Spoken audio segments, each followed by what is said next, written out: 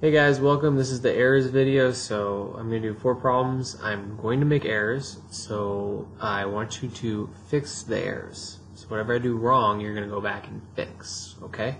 So you're going to do two things. State what I did wrong, and then two, you're going to go back and fix it. Okay.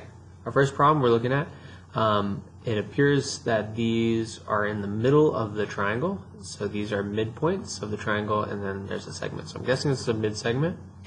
Um, so according to my rules that these are going to be congruent, so we'll just do 3x equals uh, 2x plus 40, and we'll go ahead and subtract 2x on both sides, and that's going to leave me x equals 40. Okay?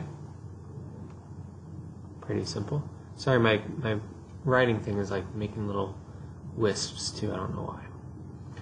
Okay, uh, name the type of triangle that we have here. So we have four types. We have uh, circumcenter, we have uh, incenter, we have uh, centroid, and then we have um, orthocenter.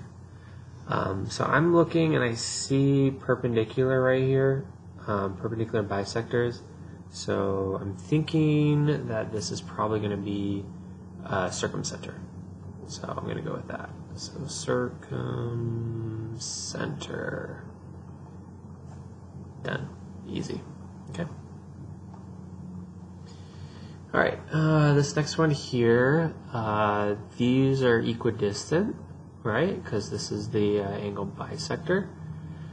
And because that, we know there's congruence, we just set them equal to each other. Nice and simple. I gave myself all the easy problems to do, no problem. 5 by 2 and x equals 30. Perfect. Okay. And last one. I know this video is really fast for me, maybe not as fast for you. Um, this last one, find the angle D, angle D right here. Uh, well, this is 76, um, so this is going to be 76 as well because um, of corresponding angles. So by CA, the answer is 76. Okay, guys. Again, I did make a mistake in every single problem. I might have made more than one mistake in some of them. Um, hopefully, I played it off well and I tricked you. So, fix the mistake and uh, tell me what's wrong, and then uh, get the right answer. All right. Ciao.